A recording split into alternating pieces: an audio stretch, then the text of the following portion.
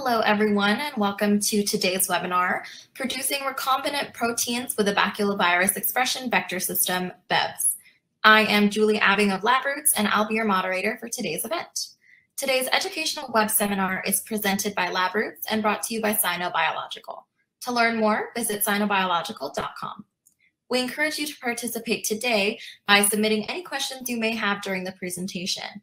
To do so, simply type them into the Ask a Question box and click Send. We'll answer as many questions as we have time for at the end of the presentation. You may also submit any technical issues here as well if you have trouble hearing or seeing the presentation. I'd like to now welcome our speaker, Zujiao Zhang, R&D Project Manager, Sinobiological Inc. Zujiao, you may now begin your presentation. Hello everyone, nice to see you all. This is a webinar from Sinobiological. My name is Xuejiao Zhang and I'm an R&D manager here at Sino. My work mainly focuses on the design and troubleshooting of recombinant protein expression methods. Today, I would like to talk about the baculovirus expression vector system, or BEVS in short. In this talk, we will discuss the history of baculovirus expression, its applications, and the strategies that we employed under BEVS. Okay, now let's begin today's webinar. The main content and sequence of this talk are shown here. Let's take a closer look at the BEVS.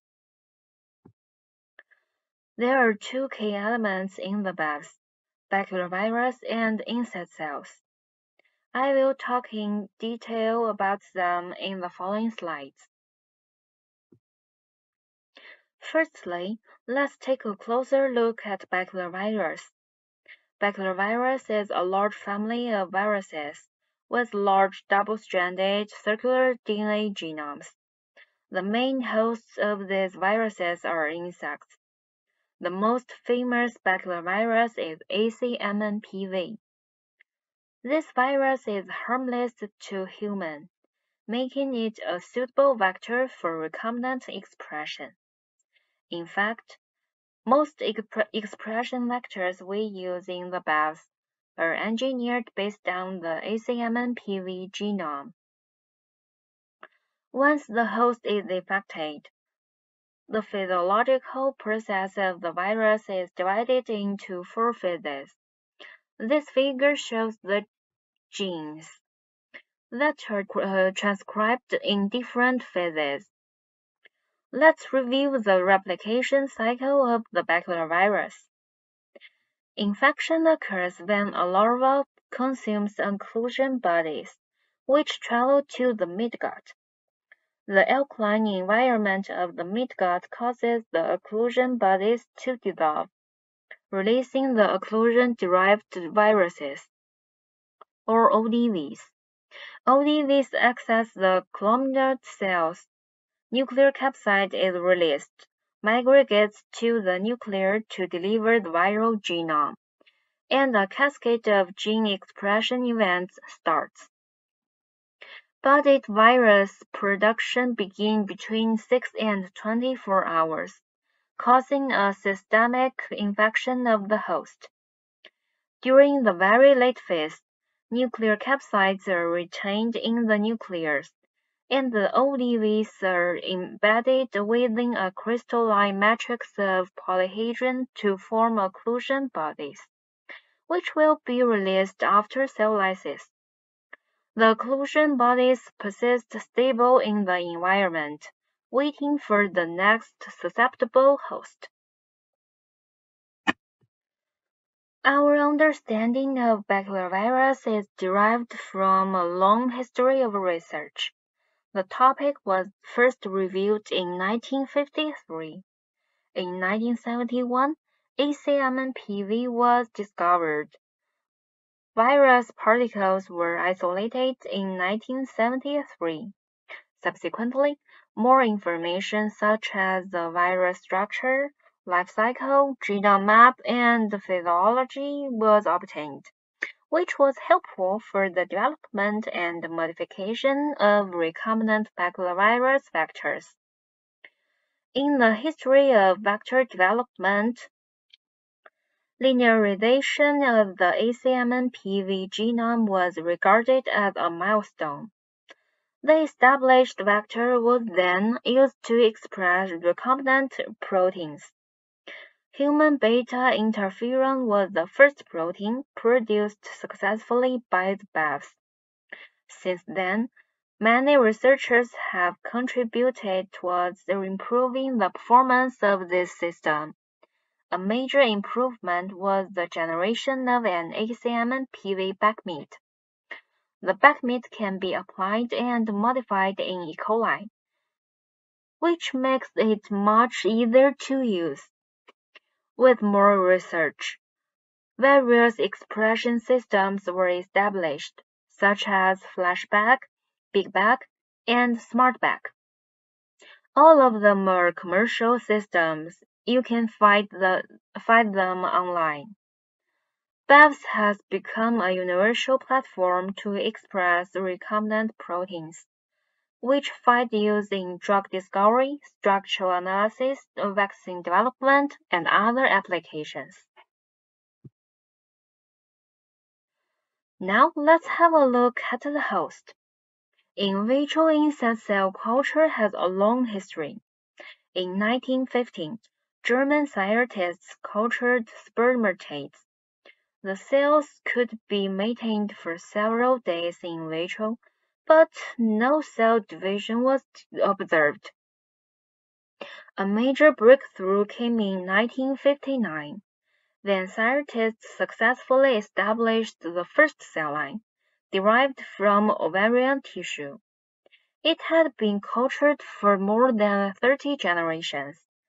In 1962, Scientists successfully established another cell line, again derived from ovarian tissue, which had been continuously passaged for 44 generations. With the development of insect cell culture technology, scientists established the SF21 cell line from ovarian tissue in 1970 confirmed its doubling time and reported that it was sensitive to ACM and PV. In 1983, the SF9 cell line was derived from SF21 and subsequently applied for recombinant expression.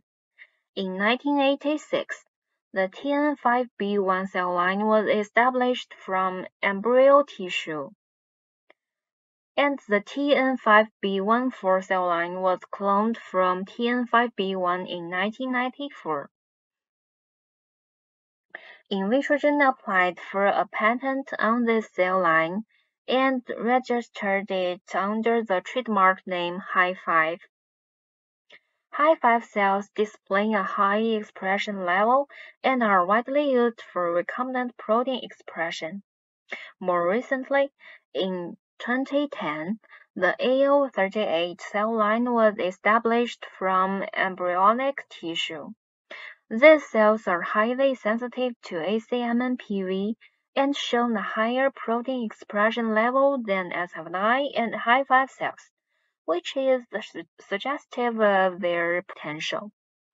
However, no commercial AO38 cell line has been developed yet. Currently, three commercial insect cell lines are widely used: SF21, SF9, and Hi5. SF9 is suitable for producing baculovirus expression proteins and performing the plaque assay. Both SF21 and Hi5 can be used to express intracellular and secreted proteins.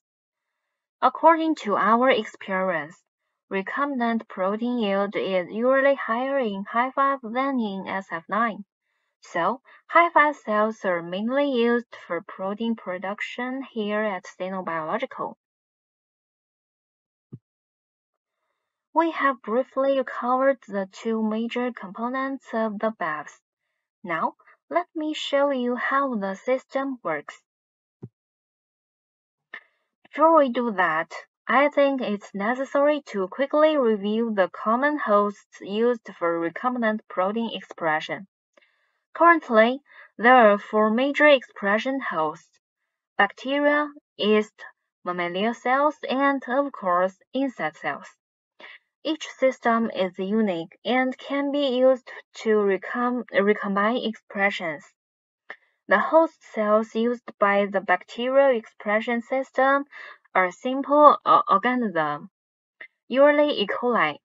The, the advantages of this system include cost effectiveness and high yield, but the limitations of bacterial render this system unsuitable for proteins that require post-translational modifications. Yeasts have the capacity for post-translational modifications, but their glycosylation type is high mannose. Mammalian cells also have the capacity for post-translational modifications, but the system is costly and not suitable for producing intracellular proteins such as structural proteins, enzymes, and transcription factors. The BAFS, by contrast, is more widely used for expression both intracellular and secreted proteins. The target protein will be trans post-translationally modified and high density cell culture can be achieved. Baculovirus expression vectors can accommodate large fragments of foreign genes, accommodating large molecular weight proteins and complexes. Compared with mammalian cells, insect cells are easier to transfect, and therefore easier to scale up. Having introduced the components and advantages of the system, Let's look at the application of the BAFS. It has been successfully applied to express various proteins and provides sufficient materials for developing vaccine in the forming of virus-like particles, or VLPs. For example, Cervarix is a vaccine developed by GSK using the BAFS to form a immunogenic VLP with no effectivity. It's the first commercial human vaccine produced using the BAFS. This system can also provide raw materials to develop diagnostic reagents. For example, TPO protein, a key antigen to detect autoimmune thyroid diseases. Et al. successfully expressed human TPO using the BAFS. The recombinant uh, protein had high enzymatic activity and reacted with its corresponding substrate. It was developed into a detection kit and has now become a standard method for the clinical detection. BAFS also provides sufficient amounts of soluble proteins with post-translational modification for structural biology. Unlike proteins expressed in mammalian cells, the post-translational modification in this system don't significantly affect the structural analysis, especially for X-ray crystallography. The recombinant proteins can be folded better in this system while retaining its enzyme activity. In addition, the BAFS can be used to develop biological drugs and biomaterials. Recombinant expression in the BAFS involves vector construction, host transfection or transformation, protein purification, and other steps. Different proteins required different design and production strategies, and we will uh, we will talk more about that later. Recombinant expression has significant advantages over extraction from natural sources, including unrestricted protein abundance, free from animal-derived components, high yield, and minimum batch-to-batch variations. Hence, many researchers expand efforts to optimize the expression system for better recombinant expression. The BEVs used in xenobiological is based on the back-to-back -back system. A flowchart of this process is presented here. Briefly, a gene is inserted into a primary vector, which is subsequently cloned into a secondary vector, known as backmeat. Backmeat is transfected into insect cells to obtain generation 1 baculovirus, named P1. The P1 virus is amplified in insect cells to achieve a suitable titer, which is then used to infect insect cells for protein expression. This back-to-back -back system has been adapted to express various proteins, include secreted, intracellular, or membrane-bound. One drawback of this system is the long duration, mainly because the process is different from other systems. There are several key factors in the whole process. The first is the backmeat. It's so large that it's prone to accidental breakage. You should be careful. The second factor is the selection of host cells. In some cases, different cells have different effects on the expression of the same protein. Chromatography method depends on the construct design and protein characteristics. Please ensure that it's appropriate for the target protein. Now, Let's look at the types of proteins that are suitable for expression using the BEVs. We know that baculovirus have a biphasic replication cycle, bodied virus and occlusion-derived virus. Hence, the BEVs can be used to recombinantly express both secreted and intracellular protein. For example, our product IL-9 is a secreted product of the BEVs. The extracellular domain of transmembrane proteins such as HA and NA of influenza viruses can also be expressed using this system. Likewise, the expression of intracellular proteins, especially kinases, will succeed more likely if the BEVs is used. It also provides a good alternative for the recombinant expression of transcription factors, which is usually challenging in other systems. Researchers use the BEVs for VLP assembly, large proteins, or complexes. Because of the high culture density, simple transfection method, and easy of scale up, this expression platform can provide more materials for the purification of transmembrane proteins. Now, let's look at some of the applications of the BEVs in recombinant expression. To obtain fully functional recombinant proteins, a systemic design is required for each step from construct design to protein purification. The first thing you need to study is the target protein. Information such, such as the subcellular location, molecular weight, PI, and instability index is needed for construct design. Based on this, we can decide whether BEVs is the best choice for the, for the recombinant expression and get a fair idea about the difficulty involved. Once the construct is determined, perform a pilot study to understand if the strategy is workable.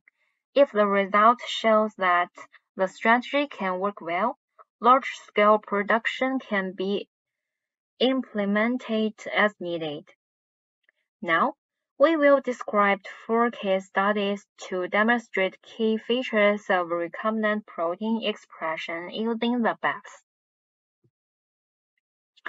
Look at the left side of the slide. Here we try to express the extracellular region of a transmembrane protein as a secreted type. We tried the last first. As you can see in this image, no target band was observed, indicating failure of expression. A hydrophobicity analysis of the target sequence revealed that there are strong hydrophobic region in the N-turn. We removed it from our construct and tried again. As shown in this uh, SDS page, a truncated protein was successfully expressed at a purity above 95%. What we learned from this case was that hydrophobicity or other structural features such as height disorder may be detrimental to recombination expression.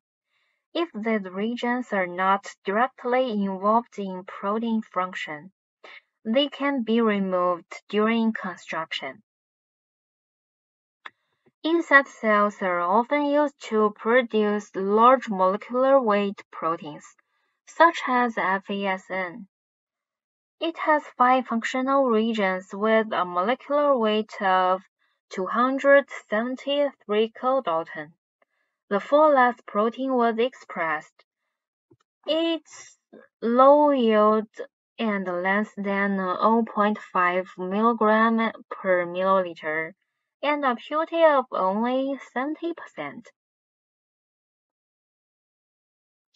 An alternative approach is to express a domain of interest rather than the full-length protein. In this case, however, the truncated protein was not feasible because of the low yield and high degradation. Finally, by splicing the sequences encoding our interested region, combine them with a linker, we successfully obtained a high yield and high purity protein. The lesson we learned from this case was that truncation is sometimes not a good solution, and may even make things worse. If expression of the full-length and the truncated version are both not feasible, splicing may be a good option. Some proteins require certain oligomeric formations to be functional. For example, the human FAP exists as a homodimer. Caution should be exercised during purification because we have to ensure protein activity. We must check the protein fractions with the correct oligomeric status. In this case study, a his-tagged protein was expressed using the BAFs. The nickel affinity eluate contained a mixture of its monomer and dimer. Because the protein is active as a dimer, a second gel filtration purification step was required to enrich the dimer. The dimeric conformation of the final product was confirmed by HPLC. The protein exhibited reproducible enzymatic activity across two different batches.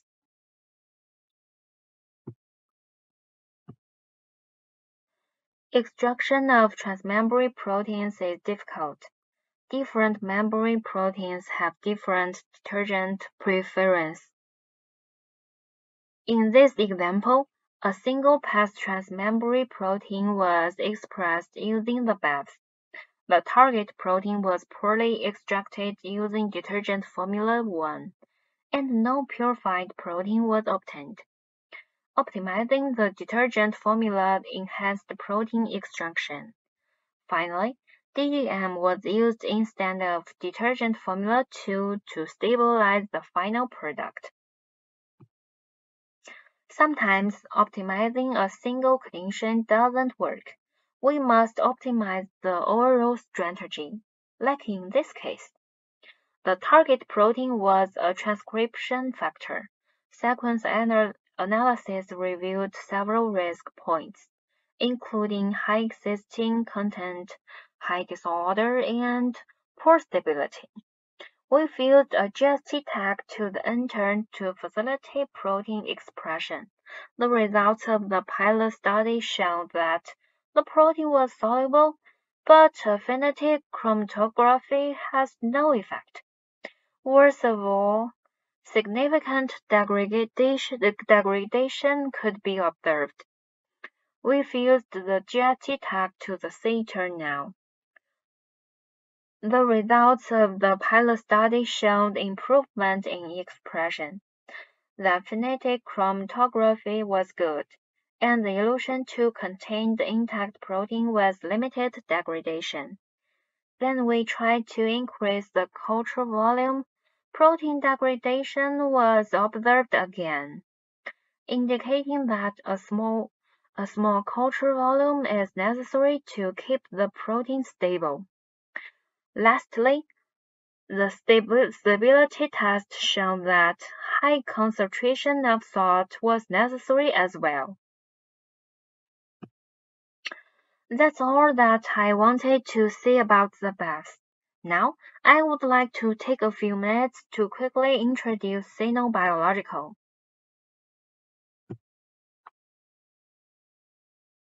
Sinobiological is headquartered in Beijing Economic Technological Development Area, and we have established subsidiary subsidiaries in the United States, Europe, Japan, as well as Taizhou and Suzhou in China, and branches in Shanghai and Guangzhou. In addition, the company has dozens of authorized uh, distributors around the world to provide customers with more convenient and efficient service. service. Sinobiological is committed to providing high-quality recombinant protein and antibody reagents, and being a one-stop one-stop technical services shop for life science researchers around the world. CRO technology services mainly include the production of recombinant proteins and recombinant antibodies, antibody development, and bioassays, and so on. In addition, we provide an integrated service package to assist pharmaceutical companies and biotechnology institutions with preclinical stage development particularly monoclonal antibody drug screening.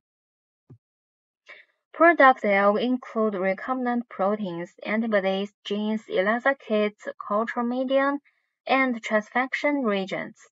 More than 50,000 products are available online. Our products are widely used in molecular biology, cell biology, immunology, stem cell research, and other branches of the life sciences. Our customers hail from more than 90 countries and regions around the world, and our products have been cited in many top journals. Our company is fully qualified. That's all for today's presentation. Thank you for your kind attention and I would be happy to take any questions.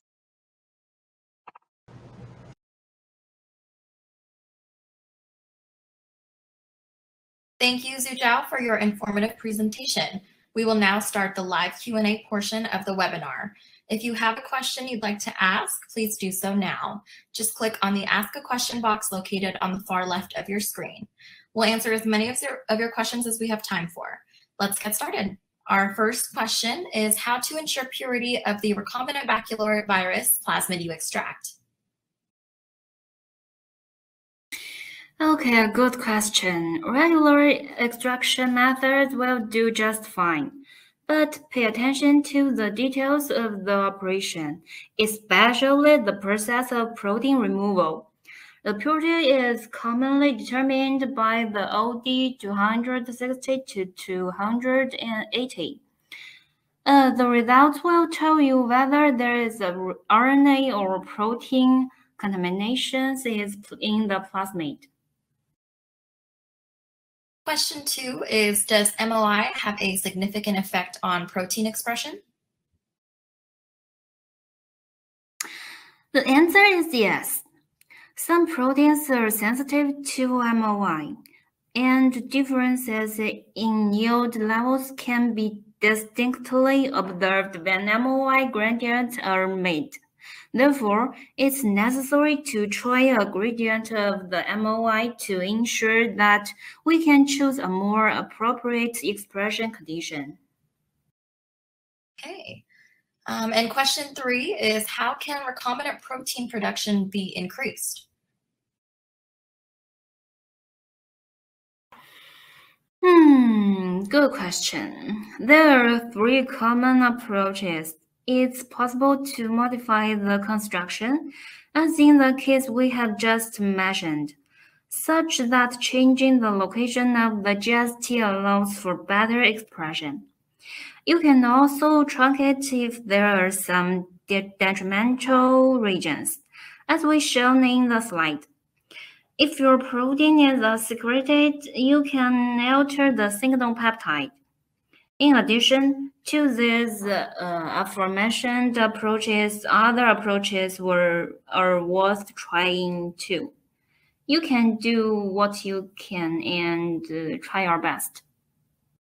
Wonderful. Uh, question four is, do you have a good solution to the phenomenon of cell clumping? Okay, mm, I didn't notice a relationship between the fraction of cell clumping and the level of protein expression. Uh, if the expression level is not affected, let it be. Uh, if cell clumping is already interfering with recombination expression, uh, anti-clumping supplements can be tried. Question five is, I wanted to make a fusion expression of different segments. Is there anything to be concerned about? Okay, if the fragments are from the same protein, the relative positions of the fragments should follow the original order. If the fragments are from different proteins, attention needs to be paid to the expose of the terminals. Linkers between different segments need to be considered as, uh, as do length and types. Question number six is, what is the maximum cultural volume you can achieve and how many viruses would you add?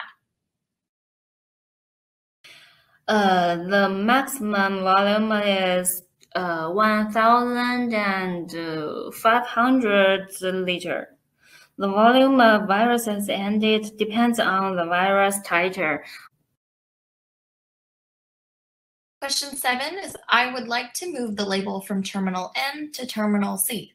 Does this have a significant effect on protein expression? Uh, yes, the impact could be significant. As described in the case of our vector, We've used a GST tag to the N terminals and affinity orthographic had no effect. And significant degradation was observed. We changed the location of the GST and we purified the protein to high purity. That is why we recommend a pilot study. This is a valuable way to check your strategy design.